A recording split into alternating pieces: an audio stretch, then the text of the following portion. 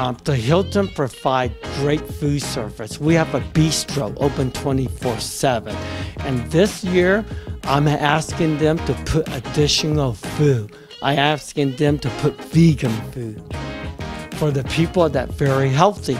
We have our coffee shop, our Italian restaurant, and a room service. But do you know that if you walk out of our hotel by where the bellman is, the, um, the concierge service, and just literally walk 10 yards, there's a deli restaurant in that office building.